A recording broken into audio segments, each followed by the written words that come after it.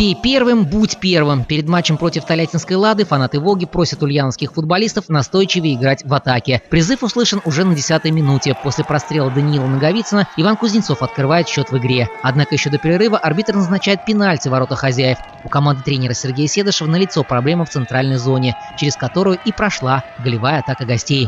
То есть из центральных трех полузащитников не смог принять участие в игре ни один человек – ввиду болезни, дисквалификации. Ну, то есть это в пользу бедных все. Играли молодые наши ребята 95 -го года рождения. Тольяттинец Максим Мережко пенальти реализует безупречно. Вратарь Волги Дмитрий Красильников прыгает в один угол ворот, мяч летит в другой. При этом градус эмоций зашкаливает, особенно в начале второго тайма. Желтые карточки сыплются налево и направо. В итоге арбитр показал 7 предупреждений. Два из них в адрес тольяттинца Семена Королькова. На заключительные 40 минут игры Лада осталась в меньшинстве.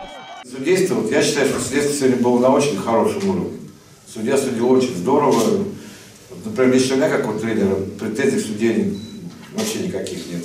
Зато претензии есть к защитникам «Волги», которые позволили Артему Ежову вывести «Ладу» вперед. Для хозяев замаячило второе поражение подряд, ведь недели раньше они уступили в Ижевске «Зениту». К счастью, на сей раз ульяновцам удалось отыграться. За 10 минут до конца матча вышедший на замену Игорь Бугаенко протолкнул мяч в ворота гостей после розыгрыша углового. Так состоялась незапланированная для «Волги» ничья 2-2.